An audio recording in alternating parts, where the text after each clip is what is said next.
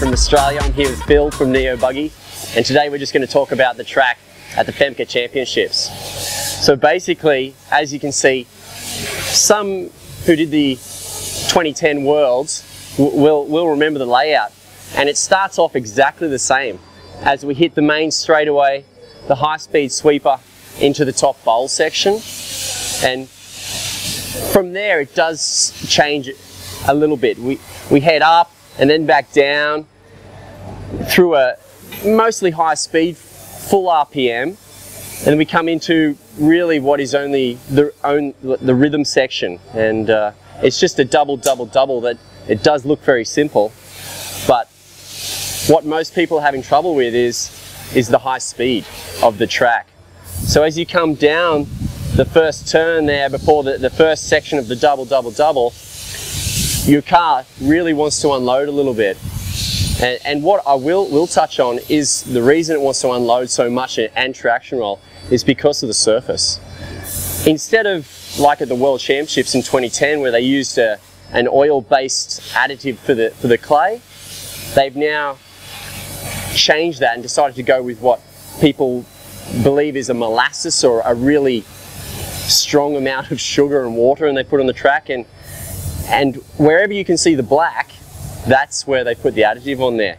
So again, as you come down that first turn, it's one of the, the grippiest sections of the track.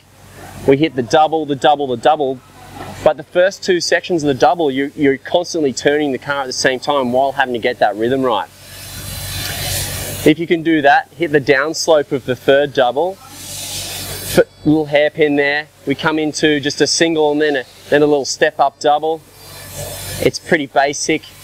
Up around to the back tabletop. Now this for the new guys or anyone who hadn't put any laps down at the practice session on the previous weekend is it's a really challenging aspect of the track. Pretty much have to commit to it. If you don't, you lose a lot of time. And but if you do commit to it and you make a mistake, you really do pay for it. And you'll find that if someone's going to break their car, that's where it's going to be on this track at the moment. So after the back tabletop, you come around, uh, a, a, sweeper turn again. It's, it's hard to judge because of how far away that, that section of the track is and it's hidden behind a fence at the same time.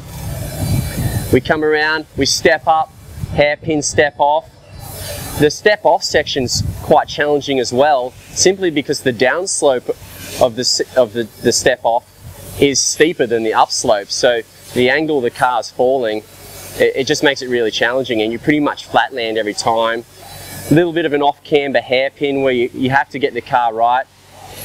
Short, fast shoot along the back section into it. Again, another left hand sweeper into the drop down.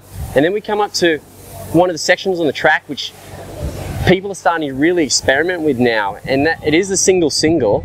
And traditionally that's how pretty much everyone here at the FEMCA Champs has been taking it. But in the last round, there were a few drivers who were attempting to do it as a whole in a double, and they were successful two out of three times. And I think as the event goes on, I know myself I'll, I'll be attempting it in the next round, but I think you'll find if you're not doing the double come semis and finals time, you, you may be a second a lap off the pace because that's how much time it does save. After the single, single or double, you come around onto that main straight again and pretty much that's a basic lap of the track.